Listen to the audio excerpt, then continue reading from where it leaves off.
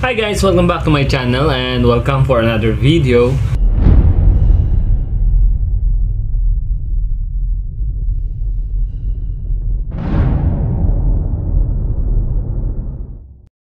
And for this video, uh, i-update ko lang kayo regarding dun sa raffle natin ng Samsung Galaxy A20s. So, regarding doon, may update tayo about dun sa mga valid entries ng mga sumali at mga entry na pumasok dun sa tamang mechanics na pagsali nila. So, i-update ko lang kayo sa listahan ng mga pangalan na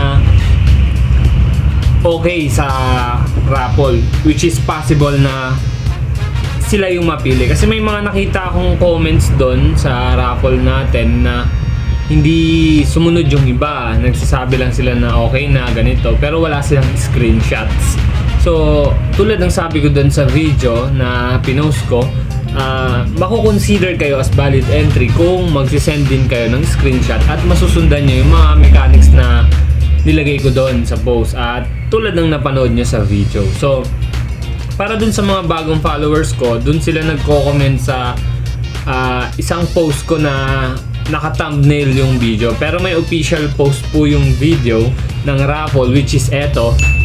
Yan, mababasa nyo dyan. Kung ano yung mga kung sino-sino yung mga sumasali. So, wag po kayong mag-comment dun sa ibang video na hindi siya yun yung uh, official post nung raffle. So, ibig sabihin po nun, hindi kayo mapipili kung may iba yung video na pagko-commentan nyo ng entry.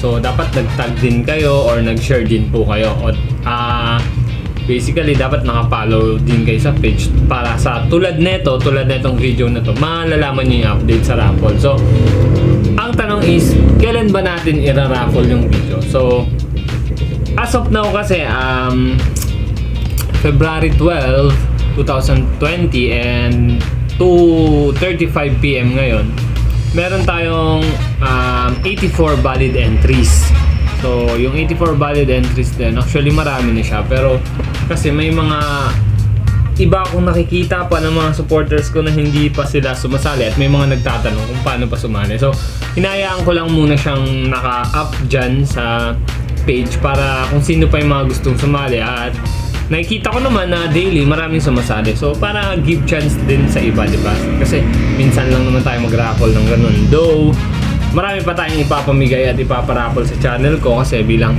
uh, pasasalamat sa mga sumusuporta sa channel ko kahit small YouTuber lang ako, uh, nandyan kayo. So, marami pa, marami pa tayo papamigay.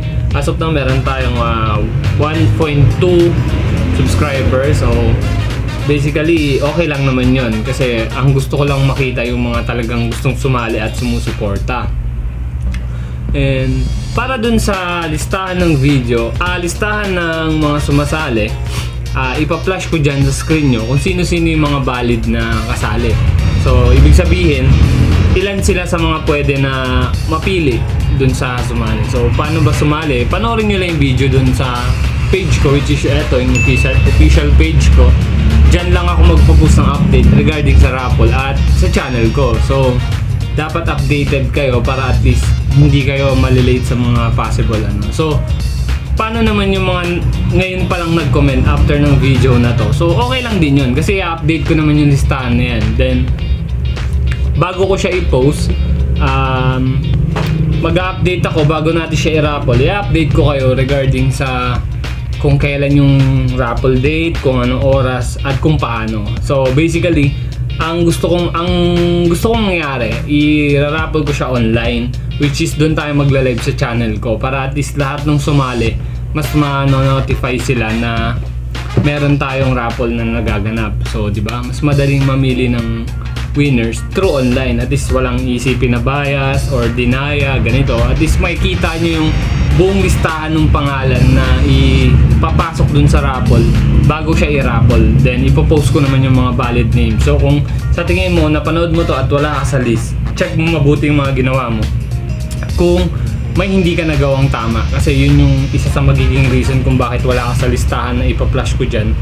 Kaya dapat sumunod kayo ng tama dun sa pinaka mechanics para at least mapili ko kayo. And also, ako rin yung mamimili nung uh, ng mga mananalo. At ako rin yung nagche-check ng mga comments dun sa post ko. Kaya huwag kayong mag-alala. Lahat naman chinecheck ko isa-isa at nagla-like or nag-heart react ako dun sa mga nagko-comment para at least alam nila na na-notify ko sila or na-notice ko sila.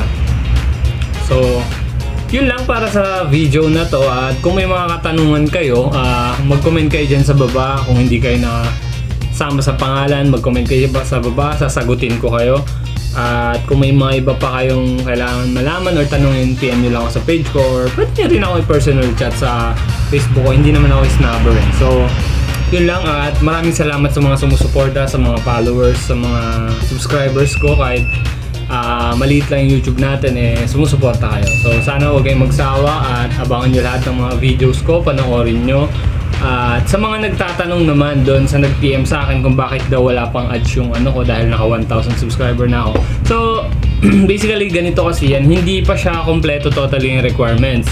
So I need 4,000 watch hours pa. So nasa 1,000 hours pa ang kailangan natin para mapuno yon din. Tsaka tayo pwede magpasa kay YouTube ng requirements bago niya tayo approve for ads. So, sa ngayon hindi ko kasi muna iniisip yon. Iniisip ko lang kung paano ko siya ma-iaayos yung channel ko, kung paano ko ma-improve yung content, yung pag edit Kaya, ayun, na ayoko munang intindihin yung requirements. Kasi, syempre habang ginagandaan or inaayos ko naman yung content ko tsaka yung mga na-upload kong video, kasabay na yun nag improve din naman. So, may tamang time para doon. So, maraming salamat sa inyo at sana huwag kayong magsawa at antayin niyo yung final post or video update or raffle para doon sa ipapamigay natin. Sana good luck sa inyo lahat at sana manalo matalo yung iba maging masaya pa rin naman. At least nagkaroon sila ng chance. Kasi hindi lang naman to isang beses na mamimigay tayo marami pa tayong ipapamigay sa channel at sa page. Kaya maging abang-abang lang at sana supportahan nyo pa yung mga susunod na video.